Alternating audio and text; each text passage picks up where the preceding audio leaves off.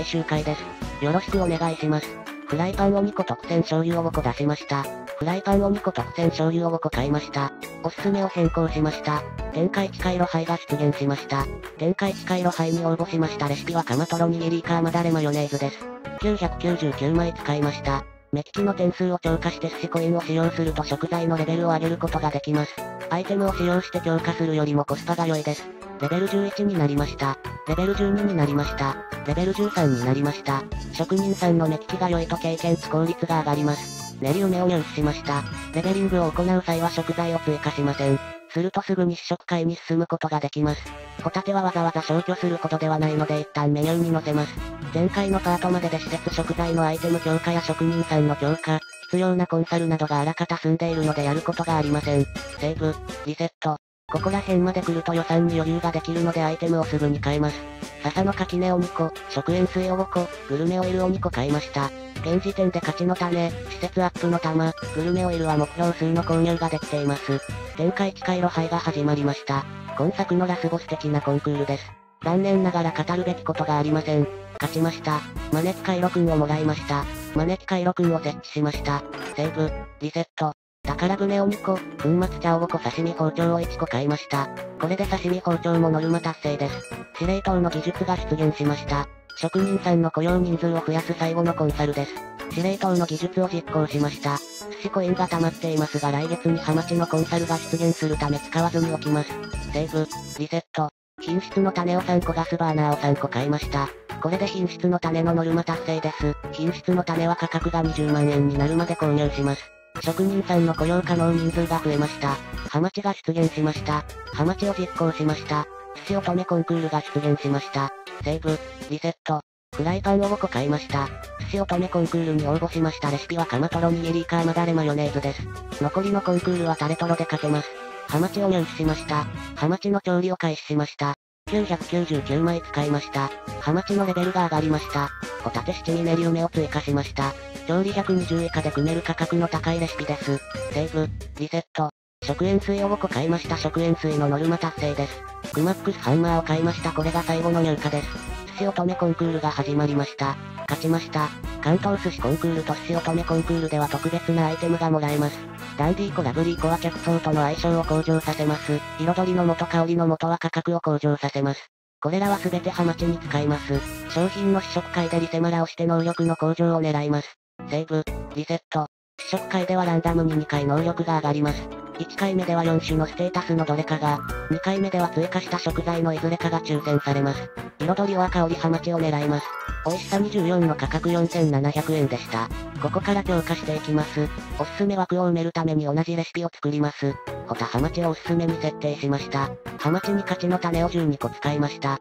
香りの素を使いました。彩りの素を使いました。ダンディー粉を使いました。相性がアップしました。ラブリー粉を使いました。相性がアップしました。相性が上がると美味しさと価格に1.5倍のボーナスが加わります。食塩水を4個使いました。刺身包丁を4個使いました。粉末茶を2個使いました。グルメオイルを4個使いました。ガスバーナーを4個使いました。フライパンを2個使いました。特選醤油を3個使いました。ホタテに勝ちの種を4個使いました。食塩水を3個使いました。刺身包丁を2個使いました。粉末茶を2個使いました。グルメオイルを4個使いました。ガスバーナーを4個使いました。フライパンを4個使いました。特選醤油を6個使いました。甘エビに特選醤油を1個使いました。ということでアイテムを使った後のステータスがこちらです。食材のレベリングをしてさらなる強化を行います。録画が残っていなかったので後日の収録になります。リニアモーターレーンに品質の種を1個使いました。フライパンを1個使いました。釣り堀に品質の種を13個使いました。食塩水を3個使いました。粉末茶を9個使いました。897枚使いました。レベル12になりました。120点でした。ホタテ七味練り梅を追加しました。セーブ、リセット。特選醤油を5個買いました。自販機に特選醤油を2個使いました。魚資料館に特選醤油を2個使いました。折り詰めコーナーに特選醤油を1個使いました。おすすめを変更しました。クマックスハンマーを入手しました。店舗の改装をやっていきます。敷地を拡張しました。ぱりコーナーを移動しました。宝船を移動しました。水槽を移動しました。釣り堀を移動しました。水槽を移動しました。宝船を設置しました。施設を移動しました。おもちゃ売り場を移動しました。笹の垣根を移動しました。リニアモーターレーンを設置しました。調理場を設置しました。ということでこんな感じになりました。各施設が宝船に隣接するように配置します。これで使用したアイテムの効果を倍にすることができます。試食会厳選のセーブ、リセット、ハマチが完成しました。おすすめに設定しました。ハマチの調理をするには寿司コインが足りないので少しの間溜まるのを待ちます。セーブ、リセット、宝船を2個、粉末茶を1個、ガスバーナーを1個買いました。粉末茶とガスバーナーがノルマ達成です。玄関を買いました。宝船を設置しました。玄関を設置しました。芸能界寿司コンクールが出現しました。ハマチの調理を開始しました。716枚使いました。レベル13になりました。いつものを追加しました。セーブ、リセット。フライパンを5個買いました。これで特選醤油以外のノルマ達成です。ピンボールにフライパンを1個使いました。腕相撲マシンにフライパンを1個使いました。ランニングジムにフライパンを1個使いました。生け花コーナーが出現しました。生け花コーナーを実行しました。芸能界寿司コンクールに応募しましたレシピはハマチ握りホタテ七味練り梅です。最後の寿司コンクールですね。清水寺で PR が出現しました。清水寺で PR を実行しました。このコンサルは舞妓さんのファン数を50稼がないといけないので出現が遅くなってしまいます。食会厳選のためのセーブ、即積もしました。ハマチが完成しました。おすすめに設定しました。席数や人気が増えたのもありますがこれで売り上げがだいたい2.5倍くらいになります。セーブ、リセット。12月になりました。プリントマシンが出現しました。プリントマシンを実行しました。438万円売り上げました。芸能界寿司コンクールが始まりました。ということで無敗で寿司コンクールを制覇しました。募集ヘッドハントが出現しました。観光新士さんがやってきました。募集ヘッドハントを実行しました。生け花コーナーを入手しました。生け花コーナーを設置しました。生け花コーナーに施設アップの玉を2個使いました。刺身包丁を3個使いました。粉末茶を4個使いました。プリントマシンを入手しました。プリントマシンに施設アップの玉を2個使いました。食塩水を1個使いました。粉末茶を3個使いました。グルメオイルを1個使いました。ガスバーナーを1個使いました。フライパンを1個使いました。ヘッドハントが完了しました。カイロくんを雇いました。金森チャリを雇いました。寿司好きを雇いました。トロフィー的にはカイロくんを雇用することが最終目標ですがハイスコアはここからが本番です。主要の旅を実行しました。セーブ、リセット。1月になりました。特選醤油を5個買いました。たくあんに特選醤油を4個使いました。イカに特選醤油を1個使いました。すっぱりコーナーに施設アップの玉を2個使いました。主要の旅が完了しました。主要の旅を実行しました。クマックスハンマーをもらいました。店舗の改装を行います。水流レーンを撤去しました。敷地を拡張しました。おもちゃ売り場を移動しました。開発室を移動しました。招き回路くんを移動しました。招き猫を移動しました。スケ広場を移動しました。リニアモーターレーンを設置しました。調理場を移動しました。リニアモーターレーンを設置しました。調理場を設置しました。笹の垣根を設置しました。笹の垣根を移動しました。灯籠を設置しました。宝船を設置しました。プリントマシンを設置しました。玄関を移動しました。受付を設置しました。主要の旅が完了しました。主要の旅を実行しました。調理場を設置しました。職人さんの配置を調整しました。主要の旅が完了しました。主要の旅を実行しました。おもちゃ売り場を設置しました。こんな感じになりました。主要の旅が完了しました。主要の旅を実行しました。主要の旅が完了しました。主要の旅を実行しました。主要の旅が完了しました。主要の旅を実行しました。季節の変わり目なのでハマチのレベリングを行います。3月になりました。宝船を買いました。宝船を設置しました。おもちゃ売り場に宝船を適用させて施設の売り上げアップを狙います。3月からはツルクカンデラックスが入荷します。おもちゃ売り場にツルクカンデラックスを2個使いました。季節が変わってすぐは寿司コインが入手できないので315枚を残しておきます。レベル14になりました。ハマチを保管しました。狩猟の旅が完了しました。狩猟の旅を実行しました。主要の旅が完了しました。主要の旅を実行しました。人工衛星で PR が出現しました。人工衛星で PR を実行しました。主要の旅が完了しました。主要の旅を実行しました。主要の旅が完了しました。主要の旅を実行しました。天文学者さんがやってきました。主要の旅が完了しました。主要の旅を実行しました。セーブ、リセット。特選醤油を5個買いました。甘エビに特選醤油を4個使いました。イカに特選醤油を1個使いました。狩猟の旅が完了しました。狩猟の旅を実行しました。狩猟の旅が完了しました。狩猟の旅を実行しました。狩猟の旅が完了しました。狩猟の旅を実行しました。ハマチのレベリングを始めました。684枚使いました。レベル15になりました。ハマチを保管しました。狩猟の旅が完了しました。狩猟の旅を実行しました。狩猟の旅が完了しました。狩猟の旅を実行しました。付広場に金森チャリを配置することで全国寿司ランキングで座席の500点が獲得できます。セーブ、リセット。7月になりました。スルクカンデラックスを3個買いました。カプセルマシンにスルクカンデラックスを2個使いました。リニアモーターレーンにスルクカンデラックスを1個使いました。狩猟の旅が完了しました。狩猟の旅を実行しました。狩猟の旅が完了しました。狩猟の旅を実行しました。狩猟の旅が完了しました。狩猟の旅を実行しました。宝船を2個買いました。宝船を設置しました。狩猟の旅が完了しました。狩猟の旅を実行しました。2000点でした。年間1000万円以上稼いでるのに4万円の差を気にしても仕方ないですが、無理せずもらえるお金はもらっておきます。狩猟の旅が完了しました。狩猟の旅を実行しました。狩猟の旅が完了しました。狩猟の旅を実行しました。レベル最大のカイロ君と金森チャリオで目利きを行うことでハマチのレベリングを効率的に行うことができます。セーブ、リセット、特選勝利を5個買いました。玄関を買いました。玄関を設置しました。折り詰めコーナーに特選醤油を1個使いました。釣り堀に特選醤油を3個使いました。納豆に特選醤油を1個使いました。寿司好きよで狩猟の旅が最後なので300枚残します。レベル16になりました。レベル17になりました。ハマチを保管しました。狩猟の旅が完了しました。狩猟の旅を実行しました。狩猟の旅が完了しました。ということで職人さん全員の狩猟が完了しました。ここからは2年ほどかけてハマチとホタテをレベル最大にします。10月になりました。一旦この秋は寿司コインを貯めることにします。セーブ、リセット。ツルクカンデラックスを4個買いました。魚資料館にツルクカンデラックスを2個使いました。ピンボールにツルクカンデラックスを2個使いました。ハマチのレベリングの前に、冬なのでカマトロのリメイクを行います。6名間で PR が出現しました。6名間で PR を実行しました。999枚使いました。カマトロのレベルが上がりました。レベル13になりました。120点でした。580万円稼ぎました。ハマチ七味練り梅を追加しました。もうコンクールはありませんが、クリアポイントの計算で最も美味しい寿司が参照されるのでそのための寿司です。旧家族さんがやってきました。カマトロが完成しました。美味しさは43でした。これからハマチのレベルが上がるのでもう少し伸びます。ここからは二人には常に開発室にこもってもらい、その時にある寿司コインで目利きを行ってもらいます。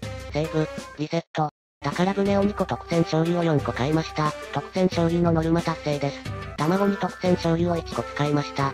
海ぶどうに特選醤油を1個使いました。納豆に特選醤油を2個使いました。宝船を設置しました。皿回しコーナーが出現しました。皿回しコーナーを実行しました。レベル18になりました。ハマチを保管しました。レベル19になりました。タレトロを消去してハマチを保存しました。ハマチはすっぴんでも高価で売れるのでレベリングした皿も全て保管します。皿回しコーナーを入手しました。皿回しコーナーを設置しました。皿回しコーナーに施設アップの玉を2個使いました。食塩水を1個使いました。粉末茶を3個使いました。グルメオイルを1個使いました。ガスバーナーを1個使いました。フライパンを1個使いました。ということでハイスコアに必要なコンサルが全て完了しました。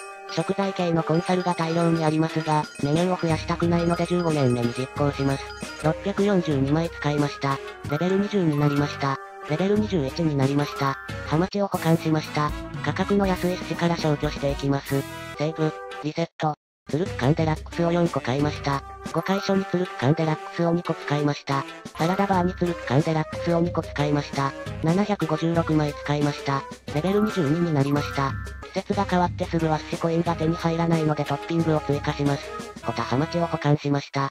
320枚使いました。レベル23になりました。ハマチを保管しました。563枚使いました。レベル24になりました。ハマチを保管しました。570枚使いました。レベル25になりました。レベル26になりました。ハマチを保管しました。515枚使いました。レベル27になりました。宝船を2個買いました。宝船を設置しました。トッピングを追加しました。梅ハマチを保管しました。セーブ、リセット。鶴く缶デラックスを4個買いました。皿回しコーナーに鶴く缶デラックスを2個使いました。プリントマシンに鶴く缶デラックスを2個使いました。444枚使いました。レベル28になりました。ハマチを保管しました。480枚使いました。ハマチを保管しました。745枚使いました。レベル29になりました。レベル30になりました。ハマチを保管しました。カイロくんを調理場に配置しました。金森チャリを付け広場に配置しました。ホタテのレベリングを始めました。玄関を買いました。玄関を設置しました。水槽を移動しました。宝船を移動しました。689枚使いました。レベル14になりました。レベル15になりました。ホタテは保管しません。ホタテの目利きは朝夕太し一人でもできるので開発室を一つ撤去します。受付を設置しました。ということで最終的な店舗レイアウトはこんな感じになりました。お客さんが利用するおもちゃ売り場にも威力アップを適用させています。今期の売り上げには影響しませんが施設の売り上げが明確に変わります。寿司コインが溜まり次第ホタテを仕込みます。933枚使いました。レベル16になりました。レベル17になりました。ツルクカンデラックスを2個買いました。ツルクカンデラックスのノルマ達成です。突っ張りコーナーにツルクカンデラックスを2個使いました。なんやかんやあってレベル28になりました。6月になるとすりこぎが入荷します。サラダバーにすりこぎを3個使いました。レベル30になりました。ということでホタテ、ハマチのレベルが30になりました。最後の最後にやることがあります。寿司の売り上げはスタッフがどの寿司を握るか、施設を利用したお客さんが受付をするか、どの客層が出現するかなど、ランダムな要素がかなり関係してきます。その結果全く同じ店舗でも今期の売り上げが600万円になったり700万円になったりします。なので季節ごとにセーブを行って売り上げのリセマラを行います。今回は700万円前後を目標にしました。寿司コインがずっと余るのももったいないので営業時間外にたくあんと甘エビのレベル上げもしておきます。ちなみに今期の売り上げは670万円ですね。すりこぎのショップ厳選も並行してやります。すりこぎを5個買いました。ハマチにすりこぎを2個使いました。納豆にすりこぎを1個使いました。ホタテにすりこぎを2個使いました。メニューが追加されない食材コンサルはこのタイミングでやっておきます。大根おろしが完了しました。チーズが完了しました。アボカドが完了しました。700万円でした。味噌が完了しました。朝月が完了しました。ネギが完了しました。セーブ。すりこぎを4個買いました。すりりにすりこぎを3個使いました。オレンジジュースにすりこぎを1個使いました。明太子が完了しました。焼きチーズが完了しました。玉ねぎが完了しました。694万円でした。724万円でした。738万円でした。732万円でした。玄関を買いました。玄関を設置しました。751万円でした。3月には寸胴鍋が入荷します。ランニングジムに寸胴鍋を1個使いました。生け花コーナーに寸胴鍋を1個使いました。702万円でした。寸胴鍋を5個買いました。ホタテに寸胴鍋を3個使いました。サラダバーに寸胴鍋を1個使いました。釣り堀に寸胴鍋を1個使いました。728万円でした。寸胴鍋を4個買いました。ハマチに寸胴鍋を2個使いました。釣り堀に寸胴鍋を2個使いました。781万円でした。761万円でした。709万円でした。719万円でした。736万円でした。715万円でした。3月に地獄釜が入荷します。腕相撲マシンに地獄釜を1個使いました。758万円でした。722万円でした。地獄釜を1個買いました。張りコーナーに地獄釜を1個使いました。747万円でした。726万円でした。721万円でした。甘エビがレベル30になりました。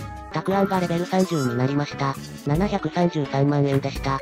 713万円でした。774万円でした。もうすぐクリアポイントの生産なので貯めておいた食材コンサルを実行します。食材は1種類で700ポイントです。719万円でした。ナスビが完了しました。イチゴが完了しました。タコが完了しました。アワビが完了しました。パフェが完了しました。ビールが完了しました。カクテルが完了しました。コーンが完了しました。ハンバーグが完了しました。722万円でした。プリンが完了しました。あんこが完了しました。サーモンが完了しました。マグロが完了しました。うなぎが完了しました。ネギトロが完了しました。ウニが完了しました。松茸が完了しました。キャビアが完了しました。718万円でした。フグが完了しました。赤貝が完了しました。アナゴが完了しました。カツオが完了しました。ヒラメが完了しました。マダイが完了しました。724万円でした。さて、最終月なのでハイスコア用に店舗改装を行います。リニアモーターレーンを撤去しました。調理場を撤去しました。釣り堀を移動しました。水槽を移動しました。職人さんを全員解雇します。16年3月は寿司の売り上げがほぼ適用されないためです。ここまで頑張ってもらったのに心が痛みますが、夢なので問題ありません。そして誰もいなくなりました。動物園で PR を実行しました。維持費を30万円節約できました。ハイスコアには来客人数の項目もあるのでレーンは若干残します。生き物係さんがやってきました。客層のコンサルは10万円以下で実行できるならスコア的にプラスになります。釣り堀を宝船で囲みます。よく見るやつですね。さて、お疲れ様でしたクリアポイントの計算です。最終資金は2億5915万円ですね。